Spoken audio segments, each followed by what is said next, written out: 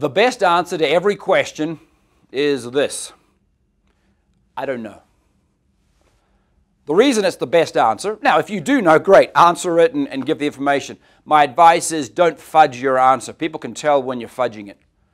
If you don't know the answer, if you aren't sure of it, if you're not confident in your competence, be upfront and say, look, I don't know, but I know where we can find out, or I know who we can find out from.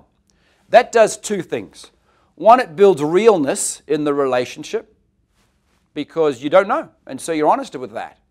And number two, it demonstrates, and this is the main thing, it demonstrates you don't need to have a PhD in biochemistry or sales techniques or whatever else in order to, at any level, do this business. That's my concern when we do things too darn well, is that we impress people and they're left with, oh man, these are, these are impressive guys and these are great products and I should do something here. But I can't do that. So therefore, thanks but no thanks. So the occasional, and you don't have to plant it because there's a whole bunch of stuff I don't know, that I honestly answer with, look, I don't know but I know where I can find out. Or I know who we can go to, note the language there, who we can go to to answer that. That's for prospects, that's for downline, that's for anybody you're working with.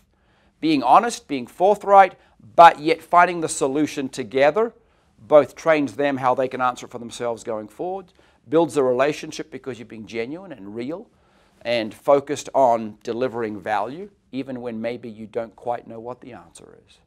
So, the best standard answer to any question, particularly those that you really don't know, is I don't know.